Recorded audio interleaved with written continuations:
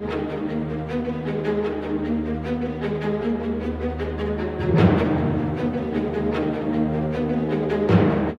देश एक चुनाव पर बीते साल से सरगर्मी अगले हफ़्ते से और तेज होने वाली है।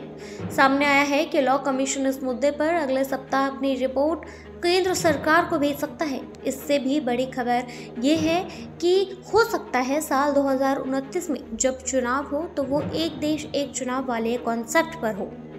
असल में इस रिपोर्ट में लॉ कमीशन संविधान में संशोधन कराने और साल दो हज़ार उनतीस के मध्य तक देश भर में लोकसभा, राज्य विधानसभा और स्थानीय निकाय चुनाव कराने की भी सिफारिश कर सकता है।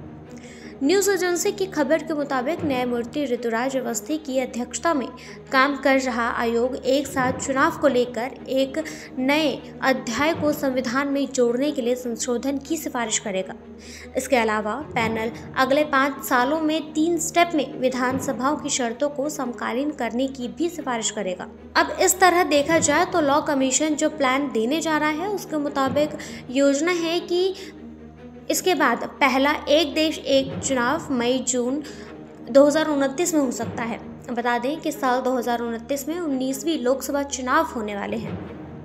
सूत्रों के मुताबिक, लॉ कमीशन जिस नए अध्याय को जोड़ने की सिफारिश करने वाला है, उसमें यह शामिल होगा कि सरकार की स्थिरता, सरकार गिरने या मध्यवी चुनाव की स्थिति आने पर मिली जुली अंतरिम सरकार का गठन किया जा सके, ताकि शासन चलाने के लिए एक संवैधानिक व्यवस्था कायम रहे। इसके साथ ही एक साथ चुनावों की स्थिरता और लोकसभा, राज्य विधानसभाओं, स्थानीय निकायों, यानी पंचायत और नगर पालिकाओं के लिए एक मतदाता सूची से संबंधित मुद्दे भी सुलझाए जाएँगे।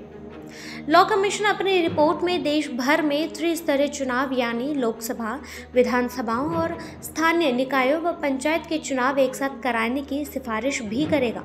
विधि आयोग जो सिफारिश अपनी रिपोर्ट में करने जा रहा है, उसमें ये कहा गया है कि अगर कोई सरकार अविश्वास प्रस्ताव पास होने के कारण गिर जाती है या आम चुनाव के सदन त्रिशंकु जनादेश आता है तो ऐसी स्थिति में विभिन्न राजनीतिक दल मिलीजुली साझा सरकार के गठन पर विचार करें साझा सरकार का फॉर्मूला काम नहीं करे, तभी सदन के बचे कार्यकाल के लिए नए सिरे से चुनाव कराए जाएँ।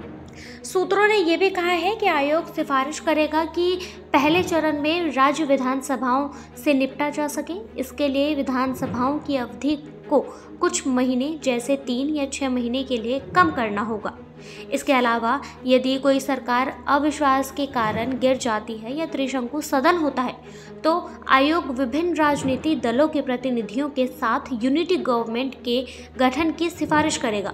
अगर इस यूनिटी गवर्नमेंट यानी कि एकता सरकार का फॉर्मूला भी काम नहीं करता तो कानून पैनल सदन के शेष कार्यकाल के लिए नए सिरे से चुनाव कराने की सिफारिश करेगा। गौरतलब है कि विधि आयोग के अलावा पूर्व राष्ट्रपति रामनाथ कोविंद की अध्यक्षता में एक उच्च स्तरीय समिति भी इसे लेकर काम कर रही है, जैसे संविधान और मौजूदा कानूनी ढांचे में बदलाव करके लोकसभा और विधानसभाओं नगर पालिका और पंचायतों के लिए एक साथ चुनाव कराए जा सकते हैं। इसके अपनी रिपोर्ट में लॉ पैनल की सिफारिश को शामिल करने की संभावना है। बता दें कि इस साल के अंत तक जम्मू कश्मीर महाराष्ट्र, हरियाणा और झारखंड विधानसभा में चुनाव होने हैं। बिहार और दिल्ली में अगले साल विधानसभा चुनाव होने हैं। असम, बंगाल तमिलनाडु, पुडुचेरी और केरल में 2026 में और उत्तर प्रदेश, उत्तराखंड, पंजाब और मणिपुर में 2027 में विधानसभा चुनाव होंगे। वहीं साल 2028 में नौ राज्य, जिनमें त्रिपुरा, मेघालय, नागालैंड, कर्नाटका, मिजोरम, छत्तीसगढ़, मध्य प्रदेश, राजस्थान और तेलंगाना में विधानसभा चुनाव होने हैं। लॉ कमीशन अपनी रिपोर्ट में जिस साझा सरकार की कल्पना को सामने रखने वाला है, इसका असल मतलब क्या है? वास्तविकता में वो कैसी होगी? और क्या विश्वास भर की राजनीति में इसका कहीं अस्तित्व है? ये तीनों सवाल बड़े मौजूद हैं।